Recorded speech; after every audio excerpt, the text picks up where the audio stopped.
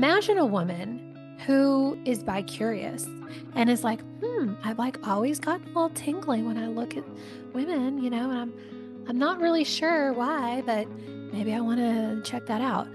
And so what I'm what I'm finding is as we start to date women that have never been with women or never been with a couple before, there is a barrier a lot of times when she is not comfortable in her own body with her own vulva, with her own vagina, with her own self pleasure, if she doesn't know how to give herself an orgasm.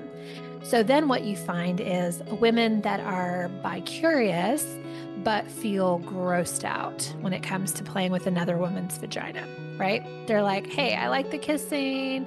I even like the nipples. Like, that's kind of fun. But I don't even know if I want to know what to do with that